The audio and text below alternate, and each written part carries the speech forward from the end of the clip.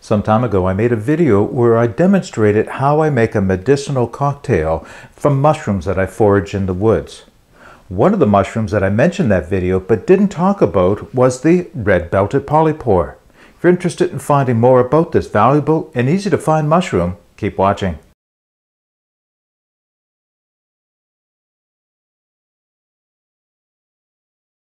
All right, rather than just talk about where you can find these mushrooms and what they look like, why don't we go out into the woods and see if we can't find a few out there. Okay, here is what I was looking for. You can see there's a stump right here, uh, maybe five feet tall, broken off of an old spruce tree. And growing right in here is a couple of year old red-belted polypore. Interestingly, there's one on the ground uh, it's I don't even know where that came off of. I'm looking for the bracket that it may have come off of. But uh, this one, yeah, can you see how it's wet underneath? It emits a kind of like a moisture from it. I'm going to harvest this and we'll take it back and we'll talk about its medicinal qualities. It's not an edible, but it is a good medicinal. So right at the base of a spruce tree I was just walking by, right down in the moss, is another red-belted polypore. Small one. This one looks like about three, three and a half inches across.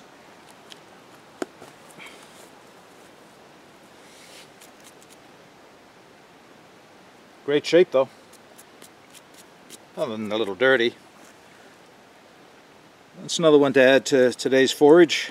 So as you saw, the red-belted polypore grows on the stump of dead conifer trees, and that's true of most of the species in terms of it'll grow on spruce, that's where I find them uh, primarily on, but I have found them on pine, they'll grow on hemlock, and they'll grow on balsam fir as well. They can be found in most of North America, at least the northern half of North America, and they're very common. They're probably one of the most common and yet overlooked mushrooms available in the woods. Now, they are one that does grow from year to year. Like a lot of the polypore mushrooms that grow on trees, they will grow and increase in size from year to year, and that's why you'll see this type of banding, this angular banding. When they are very young, they don't have a lot of color as they emerge from the tree, and they can be a little difficult to determine exactly what they are. In fact, in my mind, when I see the small ones, they quite often remind me of the reishi mushroom, another great medicinal mushroom as well. But as they grow, they grow with a white edge. Here's a good example one, uh, one right here. It'll grow with a white edge for this year, and then at the end of that year, it'll turn red. Now, sometimes you can see the colors will vary on these. As they age, they can get quite dark brown, to gray in the backish area. But the one thing that they'll all have in common is this red band around the outside. But even that red band will have some variance in color. As you can see, I've got one here that's a little bit on the orange side compared to this one, how red that one is. The underside of these mushrooms are have a pore surface, a very, very fine pore surface. That's why they call it a polypore mushroom. It's made up of thousands or millions, I guess, of tiny pores which release spore to move on to other trees, infect, infect those, and continue growing. When you find these quite often that are fresh in the woods, these will be very white. Occasionally they'll be slightly yellow. Now this one was very white when I first picked it, but as it dried it has yellowed some, but uh, it doesn't harm it at all of course. Now, as you saw in the videos, the, one of the examples I had, uh, when I reached underneath, you could feel it was almost like a dew, a, a moist, even sugary kind of a dew on the bottom of it. And that's also very common. If it doesn't have that, that doesn't mean there's anything wrong with the mushroom. It could just be the point in the growing season for it that it doesn't have that uh, on the bottom of the mushroom. So what I wanted to do is just give you a couple of examples of what these look like when they're broken apart. I'm going to talk a little bit not only where you can find them and the medicinal uses for them, but how you can store them and then later use them in a cocktail. So one of the mushrooms that I found that you saw in that video, this one here, I decided to cut it apart to be able to show you what the inside looks like. And I'll tell you why that's important in a second. You'll see that right at the bottom layer here, there are pores that are vertical or look like little tubelets that are vertical. And of course, those are the pore chambers. And that's where the pores, or the spores, sorry, spore chambers, that's where the spores are going to be released at a later date. You can see it has a quite a corky context all around the top here, not unlike the horse hoof fungus which grows on dead birch trees. And similar to the horse hoof fungus, this can be used as a coal extender for bow drills. It can be used for transporting fire. Now, when they say that, what they mean is you'll get this glowing as an ember and it will just continue to burn as a glowing ember that you can then use at a later date to blow a bird's nest into fire again.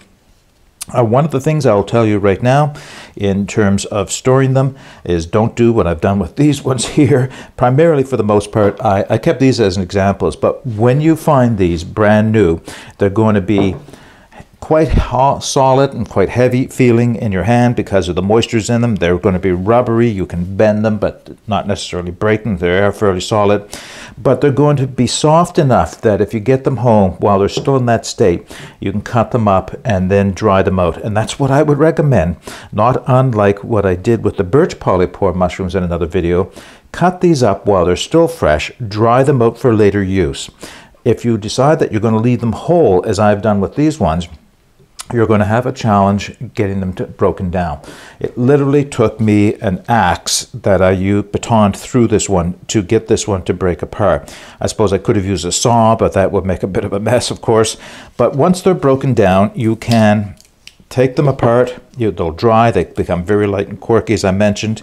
And it's a lot easier to bring the medicinal qualities of the mushrooms out of these afterwards if they're already broken down.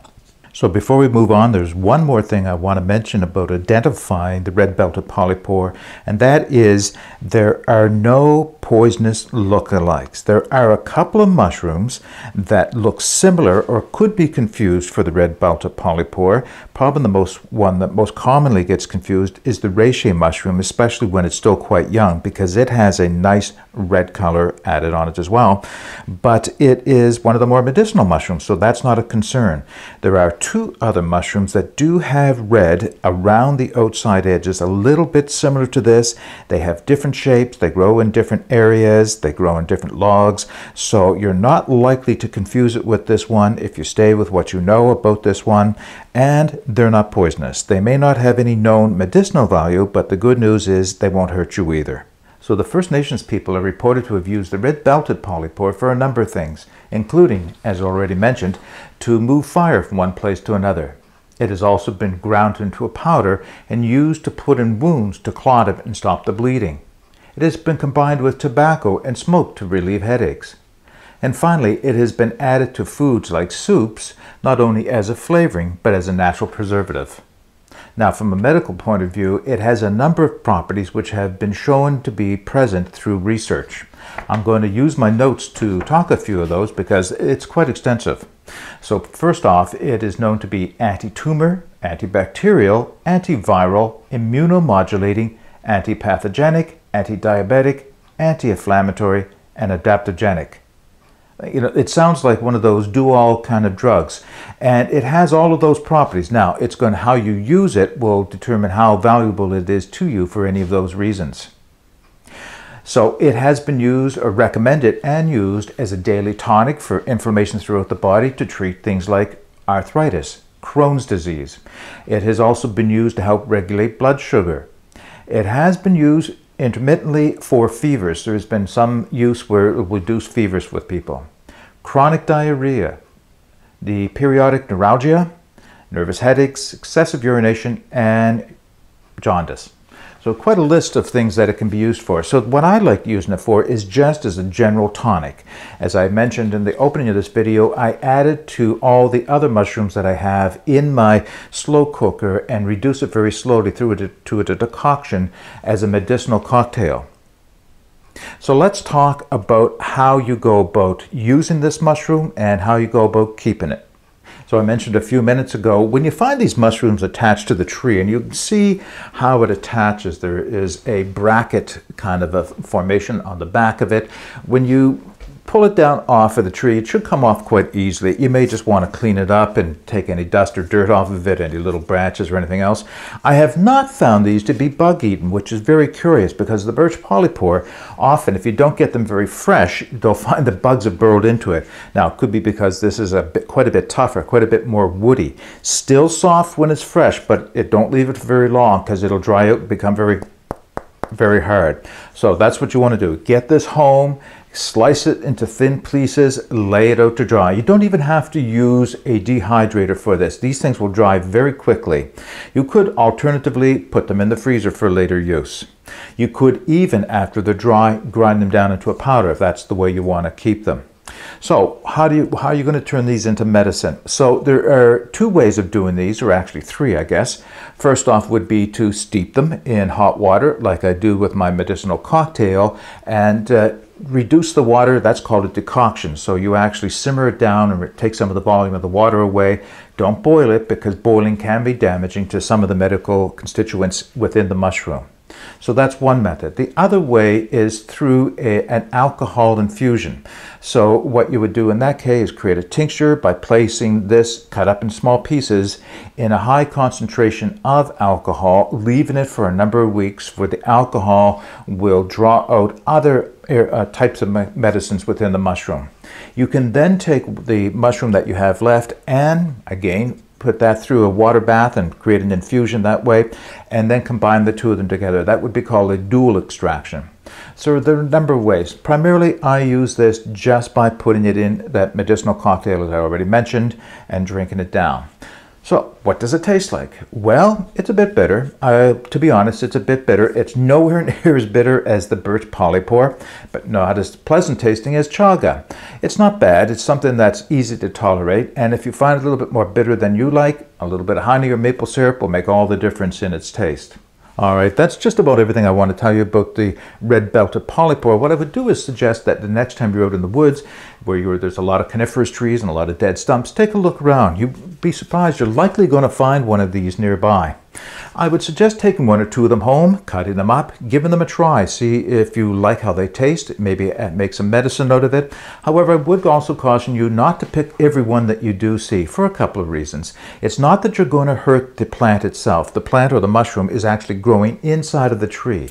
This is just the fruiting body. It's like the apple on the apple tree. Picking the apple is not going to hurt the tree, it's going to produce more of them. However, there is a cool association between these in the woods and the health of honeybees in any given area. So I always like to leave some behind to make sure that the insects that benefit from them will have access to them as well. Having said that, there are plenty of these around in the woods, so it's not hard to come up with a few of these that you could bring home and turn into medicine. Okay, that's all I have to share with you with the red belted polypore. If you have any questions, please put them in the comment section below. And until next time, get out and explore and take that path less traveled because it will make all the difference. Bye for now.